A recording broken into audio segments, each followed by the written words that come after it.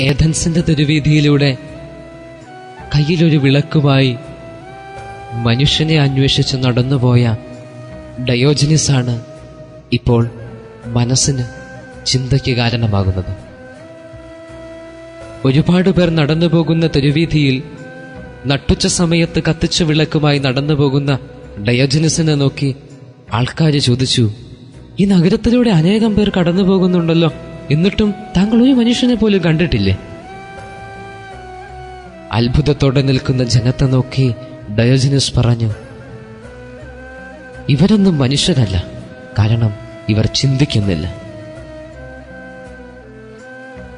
കാലഘട്ടങ്ങൾക്ക് മുമ്പ് ഡയോജനസ് പറഞ്ഞ വാക്കുകൾ ഇപ്പോൾ മനസ്സിനെ ഒരുപാട് നൊമ്പരപ്പെടുത്തുന്നുണ്ട്. കാരണം ചുറ്റും നോക്കുമ്പോൾ ജീവിക്കാൻ മറന്നുപോയ കുറെ ജന്മങ്ങളാണ് കാണുന്നത്.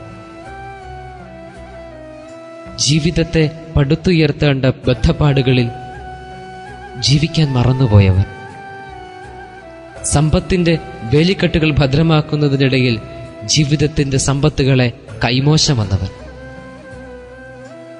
ആത്മീയ സന്തോഷത്തിന്റെ നിറവുകളിൽ ആനന്ദലബ്ധിയിൽ ആറാടേണ്ടവർ ജീവിത സാഹചര്യങ്ങളെ മെച്ചപ്പെടുത്തുന്നതിനു വേണ്ടി എല്ലാ സാഹചര്യങ്ങളും ഉപേക്ഷിക്കുന്ന ചില സന്ദർഭങ്ങൾ. ഇതൊരു സത്യം തന്നെയാണ്. ചില മരണപ്പാച്ചിലുകളിൽ ഒരുപാട് കാര്യങ്ങൾ നാം മറന്നുപോകുന്നു.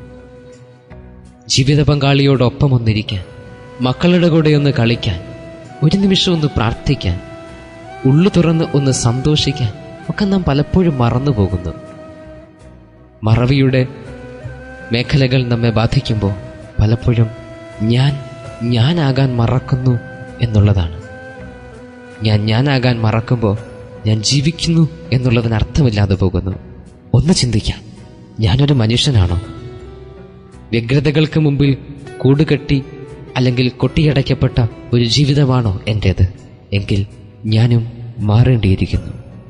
സ്നേഹത്തോടെ ജിൻസ് അഴീക്കൽ റേഡിയോ ആൻഡ്ലോസ് വോയിസ് ഫ്രം ഹെവൻ.